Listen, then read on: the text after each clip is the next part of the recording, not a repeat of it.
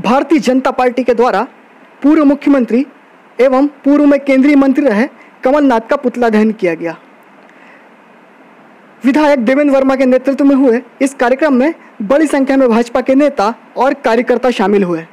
भाजपा के नेताओं का आरोप था कि कमलनाथ ने अपने कार्यकाल के दौरान चीन और उससे जुड़ी कंपनियों को लाभ पहुँचाया था। इसी का विरोध करते हुए आज हम यह पुतला दहन का कार्यक्रम कर रहे हैं। भाजपा ने बड़ा बम चौराहा और घंटाघर पर यह आयोजन किया।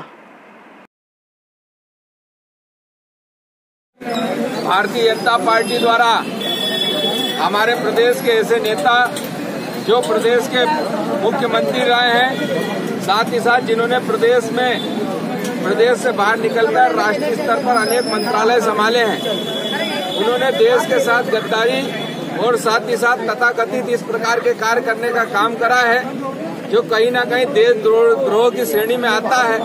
उन्होंने जहाँ एक और चीन को, अगर हम कहें, इस प्रकार के गुप्त समझौते, जो देश की अस्मिता, देश की सुरक्षा के साथ घातक है इस प्रकार के उनने व्यापारिक समझौते करने का काम करा। साथ ही साथ कांग्रेस संगठन को उन्होंने अनेक प्रकार के लाभ चीन के माध्यम से लेने का काम करे और परिणाम स्वरूप अनेक प्रकार के, इस प्रकार के सौदे करे। भारतीय जनता पार्टी इन सब बातों को लेकर आज कमलनाथ का पुतला दहन करने जा रही है। हम आने वाले समय में मांग करेंगे कि कहीं ना कहीं इसकी पूरी जाँच हो और जो भारतीय जनता पार्टी पर अनर्गल आरोप लगाने का काम कर रहे हैं, ऐसे लोग की वास्तविकता जनता के सामने आए। News first, Khandwa.